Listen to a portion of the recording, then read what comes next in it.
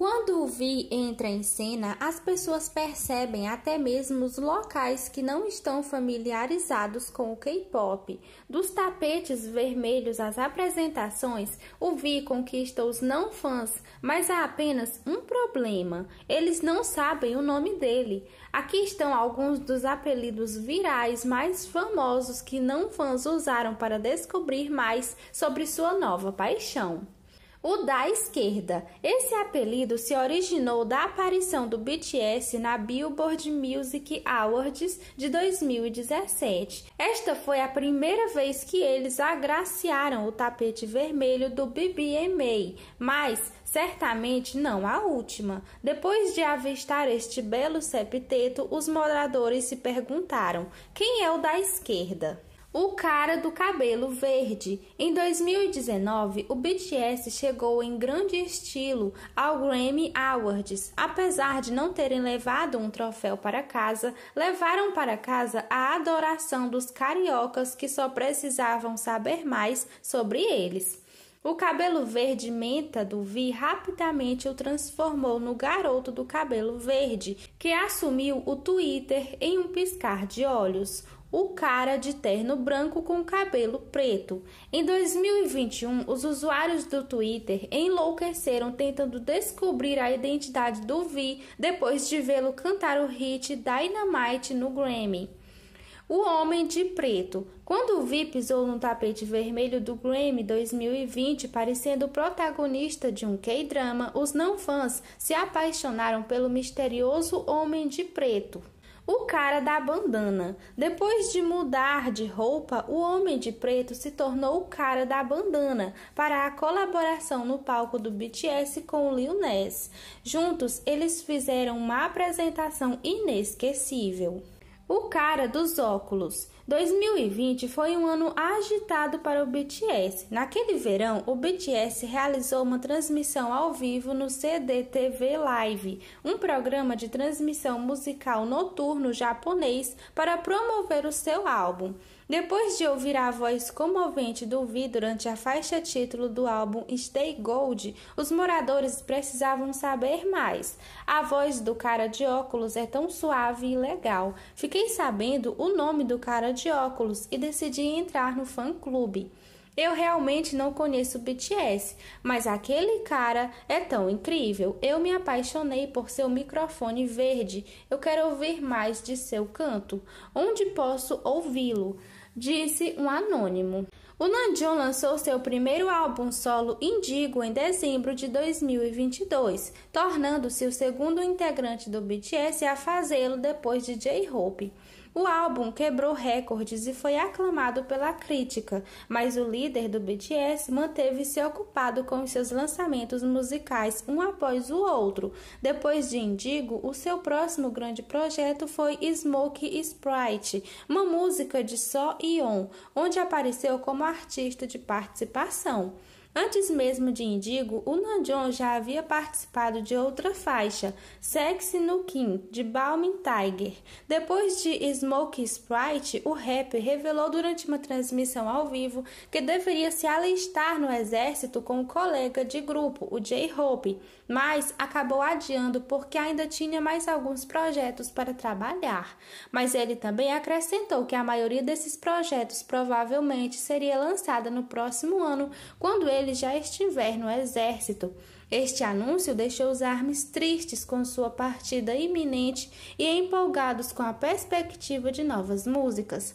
Enquanto muitos fãs se perguntavam se esta última faixa era a última de sua linha de lançamentos pré-alistamento, um desenvolvimento inesperado aconteceu. Alguns fãs encontraram uma foto do Namjoon em seu estúdio trabalhando com algumas outras pessoas, o que convenceu os fãs de que ele está se preparando para lançar um álbum.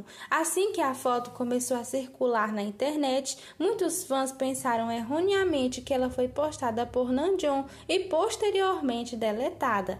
Mas acontece que a fonte é a conta de outra pessoa, o ex-produtor interno da Big Hit Music Supreme Boy, para ser mais precisa. A imagem em si tem pouca visibilidade do rosto de qualquer pessoa por causa dos níveis de exposição, mas os armes imediatamente viram Nandion nela graças aos seus pés. Já que o trabalho de detetive acabou, é só esperar agora. Após um vídeo compartilhado do Vi e da Jenny do Blackpink, supostamente em um encontro em Paris, o fotógrafo que acredita ter compartilhado o conteúdo inicial esclareceu a linha do tempo dos eventos, alegando que o momento foi feito para sua segurança.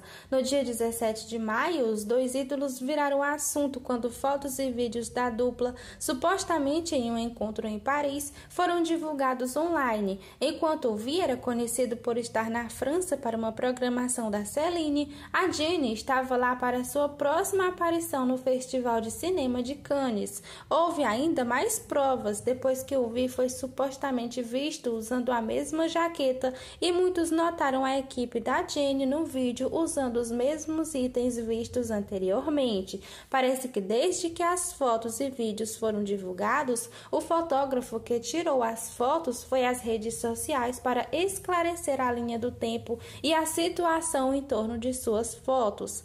No Instagram, uma das primeiras postagens do fotógrafo sobre o ocorrido, Amar Tawalit revelou que, embora os vídeos tenham ganhado destaque no dia 17 de maio, na verdade foram feitos no dia 15. Ele explica que não esperava ver os dois ídolos e a qualidade era ruim, porque ele tinha que usar o telefone. O fotógrafo então compartilhou a fonte da imagem em close do Vi, que aparentemente mostra o ídolo vestindo a mesma jaqueta que a pessoa do vídeo inicial. Ele explicou que a foto foi tirada por seu amigo depois que os dois ídolos seguiram caminhos separados. No dia 18 de maio, o fotógrafo compartilhou mais esclarecimentos com uma foto mostrando que o vídeo foi feito na segunda-feira. Ele então alegou que foi tirada à noite às 23 horas e 36 e que havia postado dois dias depois para a segurança do ídolo. O fotógrafo então compartilhou que havia postado o vídeo original que havia feito da Jenny e do Vi mas desta vez sem a música. Ele então manteve sua promessa e compartilhou o vídeo real. Embora a qualidade ainda fosse ruim, aparentemente capturou murmúrios do que o casal estava dizendo. Nem a Hybe nem a ID Entertainment abordaram diretamente o assunto, explicando que não sabem como se trata a vida privada de seus artistas. Mas e aí, Armes, o que vocês acham disso? Deixa aí nos comentários. O Yongin é provavelmente um dos ídolos mais ricos da indústria. Desde sua estreia em 2013, o Yongin encantou o público com suas apresentações, colaborou com grandes artistas e escreveu músicas para muitos ídolos. Todo o trabalho árduo e talento do Yongin significa que ele provavelmente acumulou uma boa quantia de dinheiro, embora nem sempre opte por mostrá-la da maneira mais dramática. Uma postagem recente do ídolo mostra que o ídolo aparentemente esqueceu seu status de milionário. No dia 19 de maio, algumas fotos foram postadas no Naver para o Bangrin do dia. Houve uma mistura perfeita de fotos da sala de prática da Hybe, filmagem do videoclipe e muito mais.